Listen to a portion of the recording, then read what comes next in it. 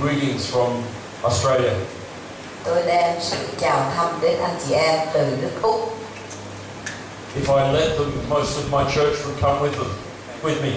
Và nếu tôi cho phép họ thì phần lớn mọi người trong hội thánh chúng tôi họ sẽ đến đây với tôi. They think your land is very exotic. Họ suy nghĩ đất nước anh chị em rất là thích thú, thú vị. Did you know that God is good? Ông bà anh chị em có biết Đức Chúa Trời là tốt lành không? Did you know He's in a good mood? Anh chị em có biết là Ngài đang ở trong trạng thái rất vui không? Did you know He loves you a lot? Ông bà anh chị em có biết là Chúa yêu ông bà anh chị em nhiều lắm không? Yeah, it's good, isn't it? Thật là tốt phải không? I want to talk to you today about victory. Tôi muốn nói với ông bà chị em ngày hôm nay về sự đắc thắng. Victory in Christ. Đó là sự đắc thắng ở trong đấng Christ. I used to be young, Trước đây tôi thường là trẻ lắm, but now I'm old. nhưng mà bây giờ già mất rồi.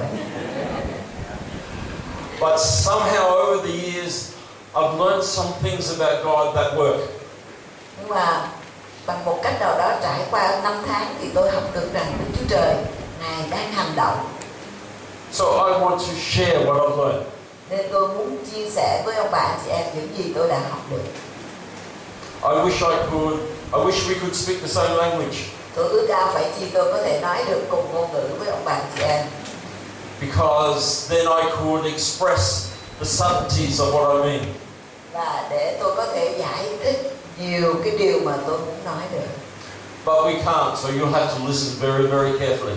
Nhưng mà nói không nói cùng ngôn ngữ được nên ông bà anh chị em phải lắng nghe chú ý kỹ.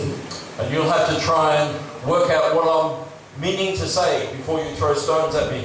và ông bà chị phải cố gắng hiểu trước khi là không hiểu thì lại quăng đá vào tôi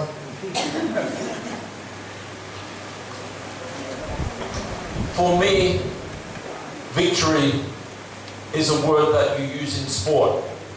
à, đối với tôi cái từ ngữ chiến thắng là cái từ ngữ mình thường sử dụng ở trong thể thao Or you might use it in a battle. hay là chúng ta sử dụng trong một trận chiến But in everyday life, victory looks like success. rồi trong đời sống hàng ngày thì sự đắc thắng nó giống như là sự thành công And success is different for everyone. It's different. Dạ.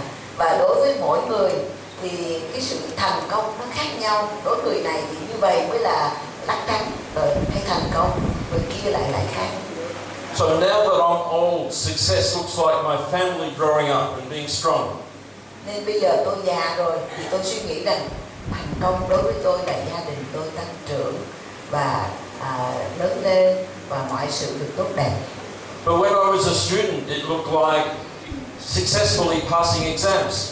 nhưng mà khi tôi còn trẻ còn đi học thì thành công có nghĩa là tôi thi đậu It looked like getting a great job hoặc là tôi làm kiếm được một công việc à, rất là tốt and perhaps having the best family in the whole world.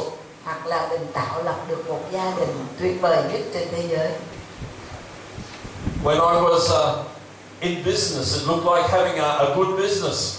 rồi khi tôi làm kinh doanh thì thành công có nghĩa là tôi có một công việc làm ăn tạo lợi nhuận tốt And that good business was measured by money.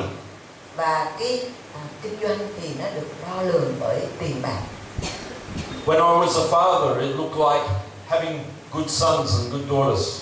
rồi khi tôi làm một người cha thì thành công có nghĩa là tôi có những người con trai con gái rất là tốt đẹp and having a good relationship with them. rồi tôi có một mối quan hệ rất thân thương gần gũi với chúng nó For each one of us, success is different. Nên đối với từng người ở trong chúng ta thì sự thành công nó có một cái ý nghĩa khác nhau Did I tell you that God was good? tôi đã nói ông bà chị em là Đức Chúa Trời là tốt lành rồi phải không Did I tell you He was in a good mood? tôi nói rằng ngài đang ở trong một trạng thái rất vui mừng có phải không And did I tell you that He's interested in your success? Và tôi có nói cho ông bà biết rằng ngài cũng đang chú ý về sự thành công của ông bà anh chị em. He's interested in you being successful. ngài quan tâm về việc là mỗi ông bà anh chị em được thành công. There's a, a passage in the Bible, và có một đoạn ở trong kinh thánh. And it starts off, it's in Matthew. Ở trong Matthew. And chapter 6. Đoạn 6 And um, it starts off talking about the lilies of the field. và nó bắt đầu bằng những cái hoa huệ ngoài đồng And it's Jesus talking.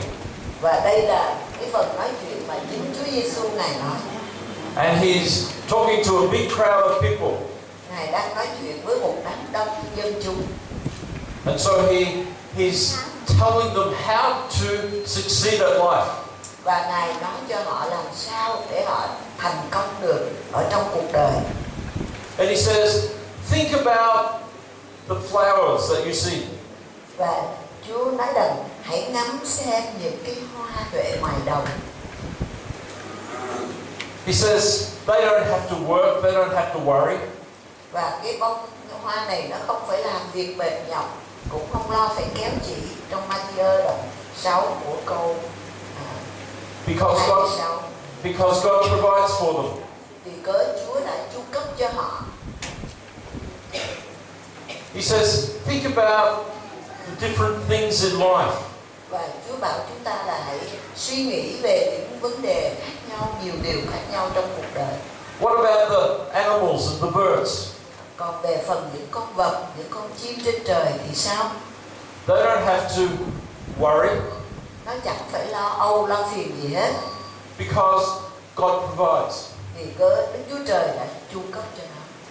And he goes through and he addresses the values of the, the people of the time.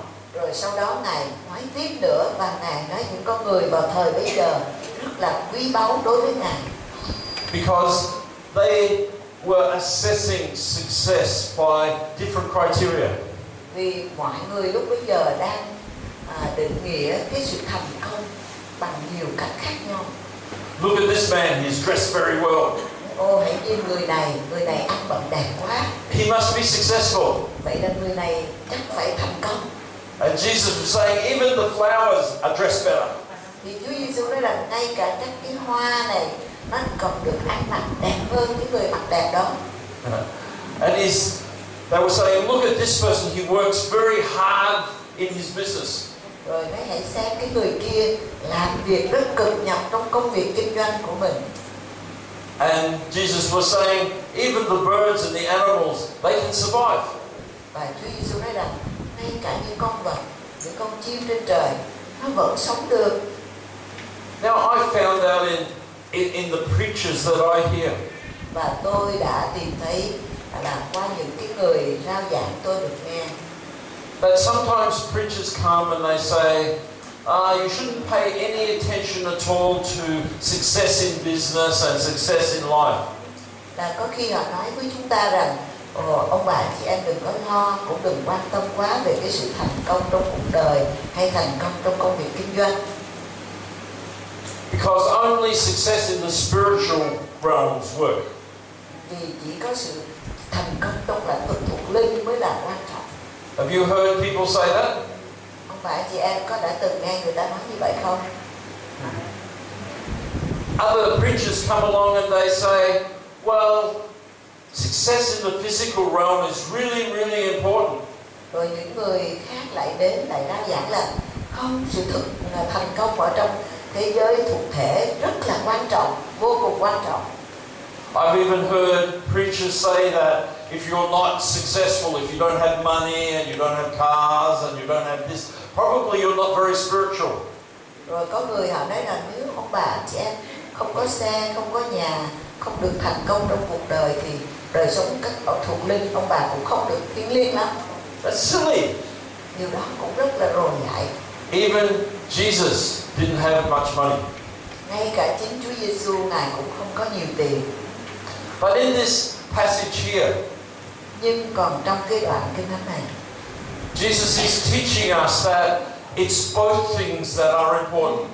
Chúa Giêsu dạy chúng ta rằng cả hai điều thuộc thể thuộc linh đều là quan trọng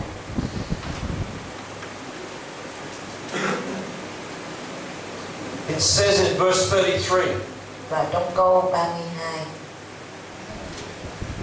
But seek first the kingdom. Câu 33 xin lỗi. Nhưng trước hết hãy tìm kiếm nước Đức Chúa Trời. And his righteousness, và sự công bình của Ngài. And all of these things will be given to you as well.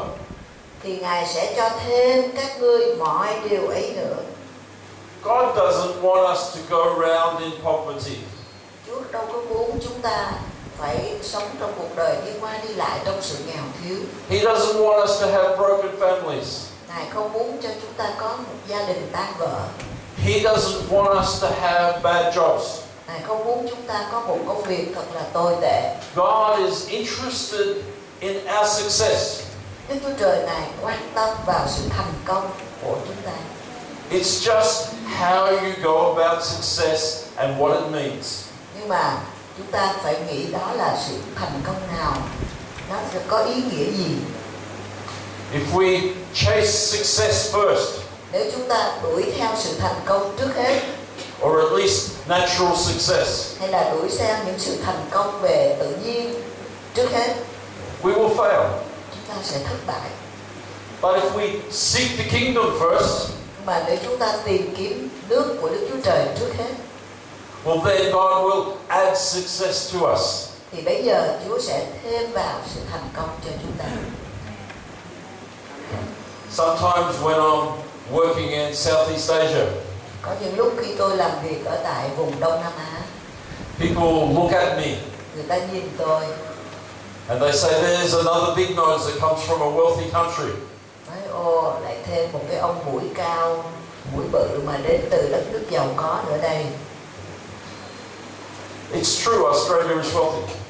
đúng như vậy là nước Úc là một đất nước giàu có But in my community, the average person lives in poverty. nhưng mà ở trong cộng đồng mà tôi sống thì một cái người bình thường họ sống trong sự nghèo thiếu I run a, a crisis center. tôi đang lo một cái ở trong hội thánh ông lo một cái trung tâm mà giống như là giúp đỡ những con người bị khủng hoảng And I want to tell you about my crisis center because it tells you about success. và tôi muốn chia sẻ với ông bà chị em về cái trung tâm mà để giúp cho những người bị khủng hoảng này tại vì nó chia sẻ lại ông bà chị em về cái điều về sự thành công I don't want to tell you that so that I'm um, putting myself up. Tôi không phải muốn chia sẻ điều này để mà khoe khoang mình đâu because I did not do it by myself. vì tôi không có thể làm cái điều này một chính mình riêng mình được I did it in partnership with God. nhưng mà tôi làm điều này trong sự đồng công với Chúa And my dad and myself, we do this together. và chính bố của tôi tức là Chúa Trời đó và cùng với tôi chúng tôi đồng công và làm ra To give you an idea, this crisis center that I run, và để cho ông bà chị em có một vài cái ý niệm để hiểu về cái trung tâm mà giúp đỡ những con người trong sự khủng hoảng mà tôi đó is the biggest crisis center in Australia. và cái trung tâm như là giải cứu những con người đang bị khủng. Trung tâm lớn nhất ở tại úc. When I first started, khi tôi mới bắt đầu cái chương trình này it was because of the need in the community. đó là vì cớ trong cái cộng đồng xung quanh chỗ hội thánh nhóm có những người họ có nhu cầu And I felt that God was saying, unless you reach out to people's need, how can you say that I love them? và lúc bây giờ tôi cảm thấy Chúa nói với tôi rằng nếu con không quan tâm đến những người đang có nhu cầu thì làm sao con có thể nói với họ rằng ta yêu họ được And there was very little support from the rest of the community. và lúc bây giờ những người ở trong cộng đồng họ hỗ trợ rất là ít So I, I got together and I started this off, and it was very small. và tôi quy tụ mọi người lại và bắt đầu chương trình này bắt đầu rất là nhỏ Maybe only three or four hundred people a year. à, Maybe only three or four hundred people a year. Yeah, only helping three or four Yeah. people a year. và lúc bây giờ chỉ giúp được khoảng 300 người 400 người trong một năm mà thôi But because it was the only thing of its kind in the area, nhưng mà lúc bây giờ thì chỗ chúng tôi là chỗ duy nhất có mặt ở đó um, politicians and people of influence would come and have a look. thì lúc bây giờ những con người những chính khách rồi những con người có quyền hành họ cũng đến để xem And many of the politicians don't like Christians. và có rất nhiều những chính trị gia thì họ không thích những cơ đốc nhân And they would come to me and they would say, You will need our money.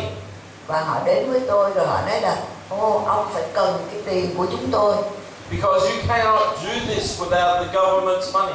Nói tại vì vì ông anh không thể nào làm nổi nếu không có cái tài trợ có tiền của chính phủ And I would stand up in front of groups of people and I would say, I don't need your money. và lúc bây giờ tôi đứng trước mặt rất nhiều người như vậy và chúng tôi nói chúng tôi không cần tiền bạc của Ông- ông ông- đâu I would say, I don't want your money. và tôi sẽ nói tôi không muốn nhận lấy cái tiền bạc của các ông đâu Because they had said to me, once you take um, our money, you will not be able to be a Christian organization anymore. Và họ nói rằng một khi mà các anh nhận lấy cái sự giúp đỡ tài trợ chúng tôi thì cái tổ chức các anh không còn là một tổ chức của cơ đốc nữa And I would say, my father is very, very wealthy. và tôi sẽ nói với họ rằng cha của tôi ngài rất là giàu có vô cùng giàu có And he's so generous. và ngài rất là rộng lượng rộng rãi lắm I will have more than I need. và tôi sẽ có còn hơn cái điều tôi cần nữa And so I established this um, center to help people on the basis of generosity. và tôi thiết lập cái trung tâm này để giúp đỡ những con người gặp khủng hoảng gặp hoạn nạn mà dựa trên cái nguyên tắc là của lòng rộng lượng rộng rộng rãi ban ra And year after year, the, the, the crisis center grew. và hết năm này qua năm khác thì cái trung tâm này càng ngày càng lớn ra And year, year after year, the politicians came back. và rồi hết năm này đến năm khác thì các chính trị gia họ đến họ trở lại And they would stand in front of a meeting and say, Do you need our money? rồi họ đứng trước cái buổi họp đông người như vậy và họ hỏi anh có cần tiền bạc của chúng tôi không And I would say, No, và tôi trả lời không my dad is generous. bố của tôi rất là rộng rãi He is abundant. ngài dư dật lắm He will give me more than what I need. và ngài sẽ ban cho tôi hơn những gì tôi cần In Australia, there are other centers like mine. và ở tại nước úc thì có những cái trung tâm cũng giống trung tâm của chúng tôi And their philosophy is to only give little bits of money, little bits. và cái triết lý trong công việc của họ làm đó là họ đã chỉ cho ra một ít thôi If you come and ask for food, they will give you just enough. nếu một ai đó tới cái trung tâm họ mà xin thức ăn họ chỉ cho vừa đủ dùng thôi If you come and ask for money, they will give you just enough. và nếu các bạn đang khủng hoảng và tới để mà xin có tài chánh thì họ chỉ cho một ít tiền thôi If you come and ask for any sort of help, they will they will ration the help and give you just enough. và rồi nếu bất cứ người ta đến xin một sự giúp đỡ nào thì họ chỉ giúp một chút thôi But I would constantly say to the people that were helping me, nhưng mà tôi thường nói với cái đội ngũ thường làm việc chung với tôi rằng I would say, don't give just enough. Give what people ask for and give them some more. nhưng mà tôi nói họ đừng có chỉ cho ít nhưng mà nói họ cần cái gì cho họ xong rồi hãy cho thêm nữa cho dư dật nữa Because we are wanting to break poverty. vì chúng tôi đang muốn bẻ gãy cái sự nghèo thiếu We are wanting to take the poverty out of the community. chúng tôi muốn cất dỡ cái sự nghèo thiếu ra khỏi cộng đồng And so people would come along and we would say, Do you know that Jesus Christ loves you? vì vậy nên khi người ta đến thì chúng tôi thường nói anh chị em có biết rằng Chúa Giêsu yêu ông bà anh chị không Do you know that God is good? ông bà anh chị em có biết Đức Chúa Trời là tốt lành không Amen? Amen. And we, they would say, we would say to them, Yes, let me show you how good He is. và rồi chúng tôi nói vâng bây giờ hãy để cho chúng tôi chỉ cho ông bà anh chị ngài tốt đến chừng nào You want some food? Let me give you some food. Here, have và anh chị em cần một ít thức ăn bây giờ tôi hãy để chúng tôi trao cho anh và chị em một ít thức ăn Is that enough food? à, đủ thức ăn chưa chừng đó đủ chưa Good. Now let me give you some more food.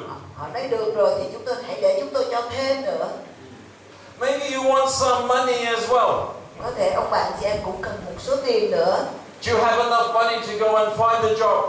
và đủ cái tiền đó để đi ra kiếm việc làm Maybe you don't have enough money to pay your power bill. có thể không đủ tiền để mà trả về cái tiền điện Let us give you some money as well. hãy để cho chúng tôi cũng cho ông bà em một ít tiền nữa một số tiền nữa And all my helpers, my staff would look at me and they would go, Oh, he's, he's lost his head. và khi tôi giúp đỡ họ như vậy thì ngay cả nhân viên chúng tôi cũng nhìn tôi và lắc đầu ồ chắc ông cũng hơi mất trí rồi We will run out of everything. mình bây giờ cho như vậy là mình hết hết mọi thứ luôn But you know, my God is generous. nhưng ông bà chị em biết không đức chúa trời chúng tôi rất là rộng lượng And the generosity breaks poverty. và chính cái sự rộng rãi rộng lượng đó đã để gãy sự nghèo thiếu And I was teaching these people to give. và tôi đang dạy những người cộng sự những nhân sự chúng tôi về hãy ban ra Because I wanted, I wanted the helpers to understand about the generosity and the goodness of God. vì tôi muốn những người mà khốn khổ này họ hiểu được cái sự tốt lành của Chúa sự rộng rãi ban ra rộng rãi của Chúa Every year, more and more people come. và cứ mỗi năm thì càng thêm người thêm người đến với chúng tôi We are, our rules say we can only help people within our own community. và cái luật của chúng tôi là chúng tôi chỉ có thể giúp những người ở trong cái cộng đồng của chúng tôi thôi But every year, more and more people saying, Can you please help me? nhưng mà mỗi năm qua đi thì càng có thêm người nói chúng tôi là ông có thể vui lòng giúp chúng tôi được không Every day now, 200 families come. và bây giờ cứ mỗi ngày bây giờ là 200 gia đình đến để nhận sự giúp đỡ And we have chaplains that run round and tell them about Jesus. và Chaplains. À, dạ. Và chúng tôi cũng có những người chia sẻ về lời Chúa cũng đi đến để chia sẻ cho những người đến để nhận sự cứu giúp đó cho họ biết về Chúa We have people that help them and tell them all about Jesus. Và có những nhân sự để có thể nói cho họ biết về Chúa Giêsu Every year now, or last year, 40,000 people came. và năm ngoái tổng kết là chúng tôi có 40 ngàn người đã đến trung tâm để nhận giúp đỡ And we would help those people multiple times. và chúng tôi giúp đỡ những người đó rất nhiều thời gian So most of those people would come for eight or 10 weeks. và thường những người đó họ đến để nhận sự giúp đỡ suốt trong 10 tuần And we pile on the food. và chúng tôi chất nhiều điều nhiều thức ăn cho họ And we give them furniture. rồi chúng tôi cũng cho họ bàn ghế nữa We have houses for people with no housing. chúng tôi cũng có những căn nhà để cho những người không có nhà We have um, workers, counselors to, to help them. rồi chúng tôi cũng có những người nhân sự làm như tư vấn nếu họ gặp những cái nan đề nào khác cũng ngồi xuống để tư vấn cho họ We give away money. rồi chúng tôi ban ra cho ra tiền bạc We give people clothes.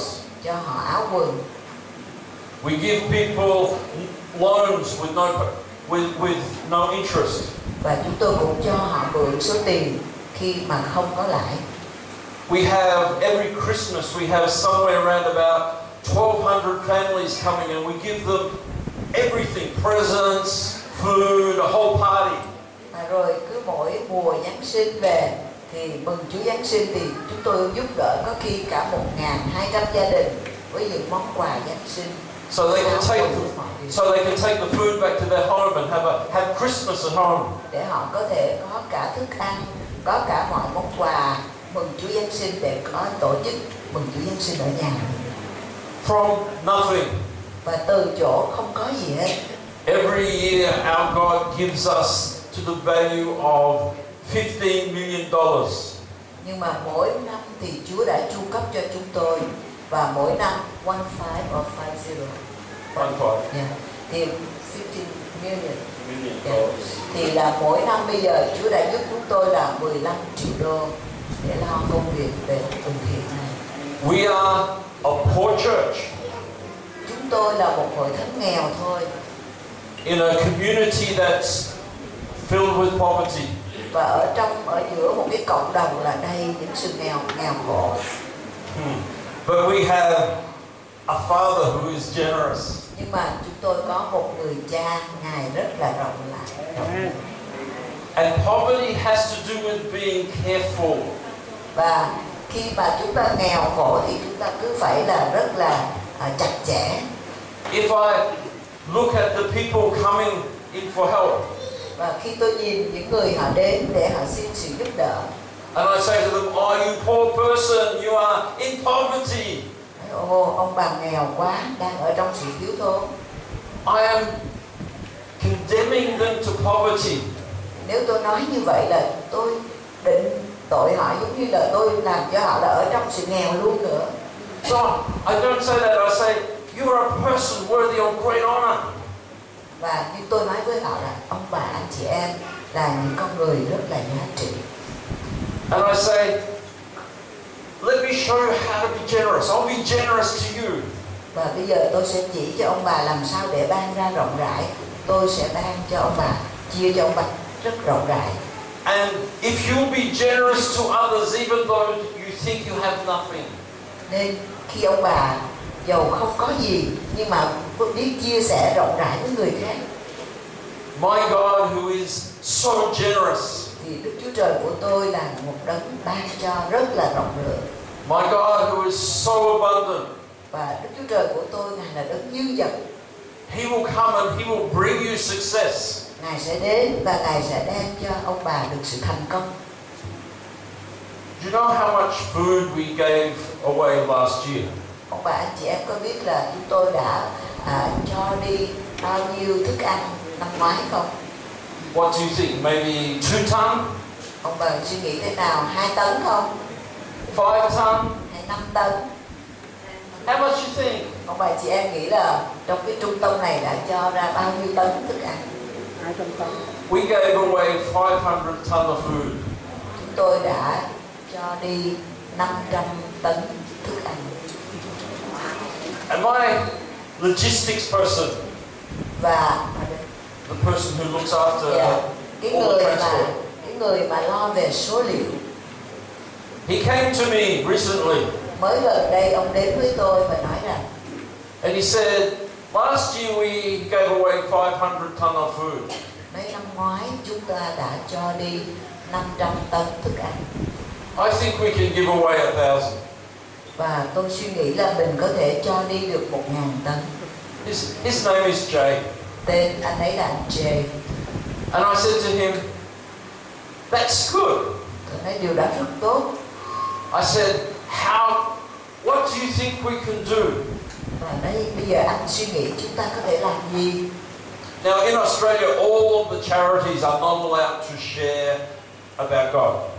và ở tại úc thì tất cả những cơ sở từ thiện không được phép nói về Chúa So I said, maybe we could go to other charities and give them what they need and say, we'll give it to you on the condition that you share Jesus Christ.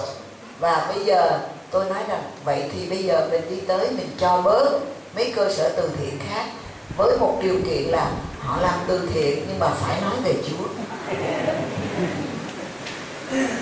I have helpers, I have workers, I have about a hundred people who come and volunteer for me.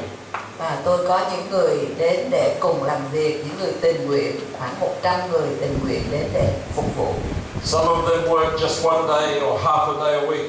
Có người đến để phục vụ trong một ngày hay làm nửa ngày trong tuần. Some of them work five days a week. có người thì đến để làm 5 ngày trong tuần. I only have two full-time people, và tôi chỉ có hai người là nhân sự làm trọn thời gian thôi. And I have six part-time staff. Rồi có 6 nhân sự làm bán thời gian that are paid. mà được sự trả lương. All of the managers are Christians, và tất cả những người quản lý đều là cơ đốc nhân hết but there's not enough Christians to fill all to fill all of the um, workplaces that we need. nhưng mà cũng không có đủ cơ đốc nhân để mà lo hết mọi cái mảng à, làm phục vụ mà chúng ta cần chúng tôi cần So we allow anybody to come and work for us. nên chúng tôi cho phép bất cứ người nào tình nguyện đến làm việc cho chúng tôi đều đến được hết We don't care who they are as long as they're willing to tell people that Jesus Christ loves them. và tôi không chúng tôi không quan tâm việc họ là ai miễn họ đến họ phục vụ và họ nói rằng Chúa Giêsu yêu thương những người mà đến nhận sự giúp đỡ đó And so we have Muslims that work for us. nên chúng tôi có những người hồi giáo cũng đến phục vụ chúng tôi nữa And so they will have people coming through nên có những người đến và đi đến để nhận những cái sự cứu giúp and they will put their arm over their shoulder họ đặt à, tay vòng qua vai của người đó and they'll say, Do you know we do this because Jesus Christ loves you? anh có biết không chúng tôi làm công việc này là vì Chúa Giêsu yêu anh không We have people praying for people. rồi chúng tôi có những người này cầu nguyện cho những người đến nhận đó For some of them, if you ask them, they'll say, I don't think I'm a Christian. và có nhiều người họ hỏi nếu hỏi thì họ nói tôi không phải cơ đốc nhân But they pray for people and they get healed. nhưng mà rồi đến khi họ cầu nguyện cho những người đó và người đó cũng được lành You see, this is success. và đó chính là sự thành công This is a huge organization. đó là một cái công việc một tổ chức rất lớn Last year, the politician, they gave us most trouble. và năm ngoái thì là năm mà những chính trị gia đã là gây nan đề nhiều nhất cho chúng tôi He came in and he talked in, in the office ông bước đến và nói chuyện ở trong văn phòng and he pulled a, an envelope out of his pocket và rút ra một cái phong bì từ nơi cái túi của ông and he said, Don't ever tell anybody I did this. Và nói là đừng có nói với ai là tôi làm điều này But here is $15,000 of my own money for you. Nhưng mà đây là 50 ngàn đô mà đô la mà tôi đưa cho anh em Because I can see what is happening here. Vì tôi có thể thấy những gì đang xảy ra ở đây God is, is good. Đức Chúa Trời là tốt He is in a good mood. Ngài có một cái Ngài ở trong trạng thái rất vui mừng Last year, at the end of last year, after the conference, và năm ngoái cuối năm ngoái trước cuối cái hội đồng I went on a holiday tôi đi- có một kỳ nghỉ and I went over to Europe. tôi đi qua Âu Châu I had saved up enough, enough frequent flyer points coming backwards and forwards to Vietnam. và khi tôi đi qua đi lại Việt Nam nhiều lần thì tôi có thể à, để dành lại được đủ điểm để có cái vé máy bay đó So I, I went for five weeks to visit friends and to travel across Europe. và tôi có cơ hội để đi trong 5 tuần thăm viếng bạn hữu và đi các nơi này nơi kia ở khắp Âu Châu When I got back, khi tôi trở về Úc there was problems. thì có nan đề xảy ra The two senior people, the CEO and the um, and the center manager, came to me and said, "We resign." cái người mà lo CEO chính á, và một cái người quản lý chính đến với tôi và nói giờ chúng tôi xin từ chức And so, what had happened? It got too big and they couldn't manage anymore.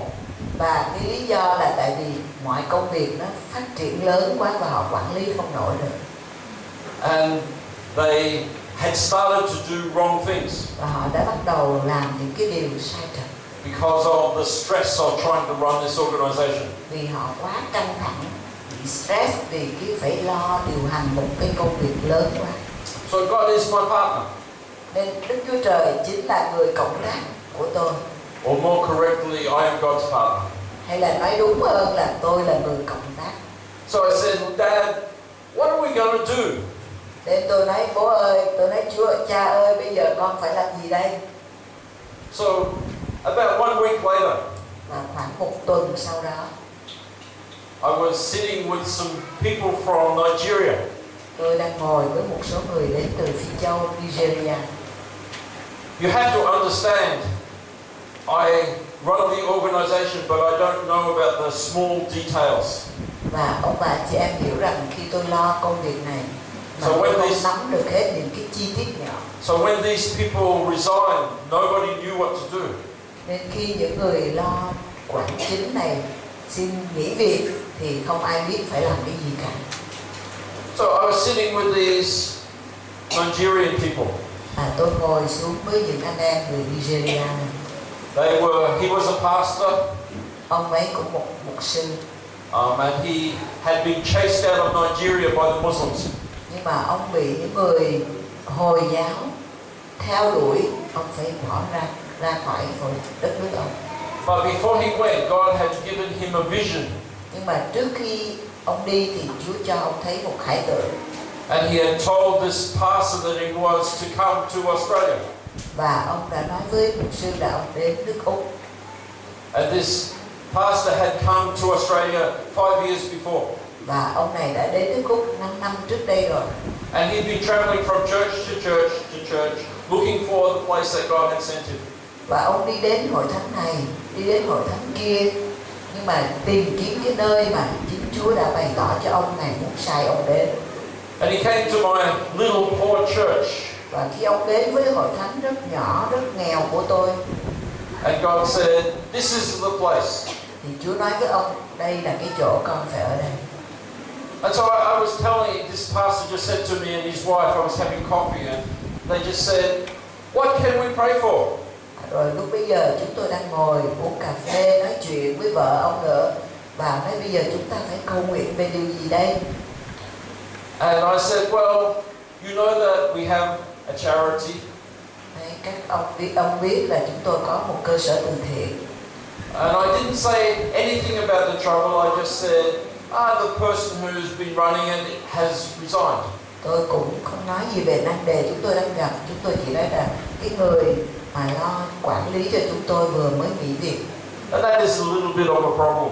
và chỉ nói với họ một chút về cái nan đề thôi And his wife said, I can help you. Thì người vợ nói rằng tôi có thể giúp ông I ran a big charity in Nigeria. vì ở tại Nigeria tôi cũng lo một ờ, trung tâm từ thiện rất lớn And since I've come to Australia, I've trained in various areas of business management. I think I can do this job. và khi tôi đến Úc thì tôi đã lo công việc về huấn luyện về thương mại nên tôi nghĩ rằng tôi có thể là lo công việc này được And many, many, many, many miracles happened in terms of success, in terms of people. God just sent these people from Nigeria to, to help. và có rất nhiều nhiều cái nghĩa chúng ta sẽ nói về sự thành công là gì Chúa sai những con người tại Nigeria đến để giúp đỡ This is a good story, isn't it? và đây là một câu chuyện tốt phải không ông bà chị em But there are some things of Scripture that are behind this. nhưng mà luôn luôn có những cái điều thuộc về lời Chúa ở đằng sau mọi điều này And I need to tell you, if you're going to succeed, there's some principles of Scripture that will enable the success. nhưng mà để tôi muốn nói với ông bà chị em là nếu ông bà chị em muốn thành công thì luôn luôn đằng sau đó phải có những nguyên tắc của kinh thánh hướng dẫn trong mọi điều ông bà chị em làm And it doesn't matter if you're a student or a grandmother. và nó không có khác biệt nếu bạn đang là sinh viên hay bạn là một bà ngoại It doesn't matter whether you're a businessman. It doesn't matter who you are. và nó cũng không quan can hệ là bạn là ai These principles of success are what enables God to come and do the miraculous. nhưng mà cái nguyên tắc của thành công này là chúng ta để cho chính Chúa đến và Ngài làm những điều phép lạ And there's three ideas that I want to give to you. Và có ba cái ý niệm ở đây mà tôi muốn trao cho ông bạn chị em. Remember, God said, Seek first the kingdom. Và chúng ta nhớ trong cái đoạn kinh thánh này Chúa nói rằng nhưng trước hết hãy tìm kiếm nước vương quốc của Chúa and His righteousness, và tìm kiếm sự công chính của Ngài. And then the success will be added to you. rồi bây giờ sau đó sự thành công sẽ được thêm vào cho anh chị em first thing I need to tell you about the kingdom is it's a supernatural place. và điều thứ nhất mà tôi muốn nói với ông bà chị em về vương quốc Chúa đó là một nơi siêu nhiên You can't get it through business principles. và bạn không thể nào đến nó được qua những nguyên tắc về thương mại You can't get it through parenting handbooks. Và bạn cũng không thể đến đó được qua việc chúng ta nghiên cứu những cái quyển sách à, chỉ dẫn chỉ nam chỉ uh, kim chỉ nam You can't get it by going to school. mà bạn cũng không thể bước vào được cái thế giới siêu nhiên đó qua việc bạn đi học các trường Those things are good, but they won't take you to the kingdom of God. điều đó cũng tốt nhưng mà nó không thể dẫn ông bà chị em bước vào trong vương quốc của Đức Chúa Trời được The Bible says in Matthew 4 and verse 17, Kinh Thánh ở trong đoạn 4 câu 17 nói rằng it says, From that time on, Jesus began to preach a message. và Kinh Thánh cạnh này nói rằng từ lúc đó Đức Chúa Giêsu khởi giảng dạy rằng This is the message that Jesus preached over and over and over and over and over and over and over and over again. đây là cái sứ điệp mà Chúa Giêsu ngài giảng giảng đi giảng lại giảng đi giảng lại luôn luôn He said, Repent, for the kingdom of heaven is near. ngài nói rằng các ngươi hãy ăn năn vì nước thiên đàng đã đến gần It means change. điều đó có nghĩa là hãy thay đổi đi Because the kingdom of heaven is accessible. vì nước của Đức Chúa Trời là nơi chúng ta có thể bước vào được You, you can get the kingdom of heaven now. và anh chị em có thể nhận lấy nước thiên đàng ngay bây giờ So let me explain about the kingdom of heaven. nên hãy để cho tôi giải nghĩa về vương quốc nước, nước thiên đàng It's not something that was in the past. đó không phải là một điều thuộc về quá khứ It's not a place. Không phải là một nơi It's not up in heaven. nó cũng không không phải là ở tận thiên đàng Because it's not a place. vì đó không phải là một nơi chốn It's where the rules of God apply. nhưng mà đó là cái nơi mà những luật lệ của Chúa được áp dụng So I can hopefully explain this to you. nên tôi ao ước tôi có thể giải thích rõ điều này cho ông bà anh chị em If it was the kingdom of Australia, nếu nói ví dụ như đây là một vương quốc của úc in Australia we have kangaroos. thì ở úc châu chúng tôi có cái con kangaroo And so if it was the kingdom of Australia in this room, thì nếu là vương quốc úc là bây giờ ở đây là vương quốc úc we would have some kangaroos. thì sẽ có mấy con kangaroo nó nhảy qua nhảy lại In Australia we have good beaches with surf. Và ở úc thì chúng tôi có những cái bãi biển để chúng người ta có thể là đi ờ, kêu cái từ đó là họ họ họ lướt họ lướt sóng surf và lướt họ lướt sóng những cái ngọn sóng rất cao. Mà họ bơi họ lướt lên những cái sóng So if the kingdom of Australia was here, you would have big waves. cho nên nếu mà ở đây là vương quốc của úc châu thì chúng ta sẽ có những lượng sóng rất là cao. In, in Australia we have very, very strict food laws. street street Food laws. food law Yes. rồi ở úc châu thì chúng tôi có những luật lệ về thức ăn rất là nghiêm ngặt So if you, if the kingdom of Australia was here, you wouldn't be able to cook food in the same way as you can cook it in Vietnam. cho nên nếu ở đây là vương quốc của úc châu thì bạn không được nấu cái cung cách nấu có những cái thức ăn mà cái cách bạn nấu ở việt nam And so if the kingdom of Australia was here, all of these things would apply. nên nếu vương quốc của Úc Châu ở đây thì mọi cái luật lệ của nước Úc sẽ phải được áp dụng. You understand? Chúng ta hiểu không ạ? When Jesus came, he brought with him the kingdom of heaven. Khi Chúa Giêsu đến thế gian này thì Ngài đem ra với Ngài vương quốc của thiên đàng, nước So- thiên đàng. So around him, the rules of heaven apply. Nên ở xung quanh Ngài luôn luôn Ngài đi trong cái luật lệ của thiên đàng được áp dụng.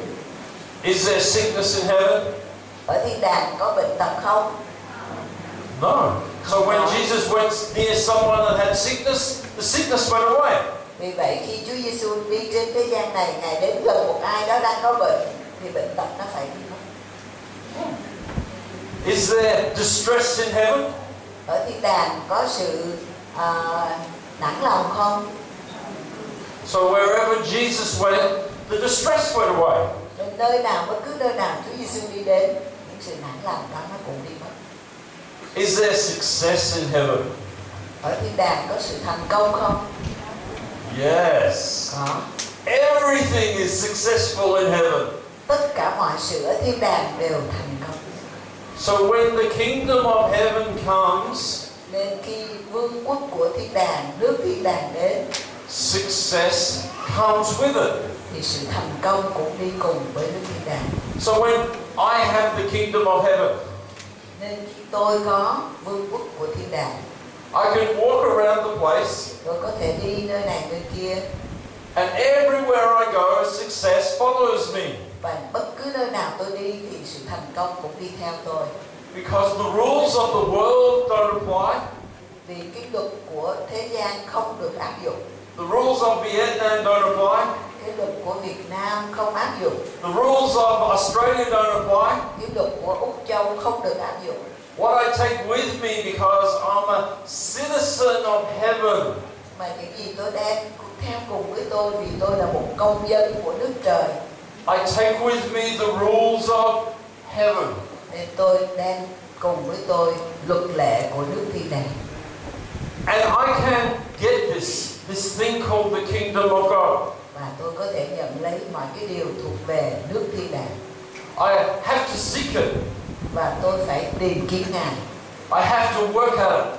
tôi phải làm việc về điều đó I have to encounter God. tôi cần phải được gặp gỡ đức chúa trời But He is wanting to give it to me.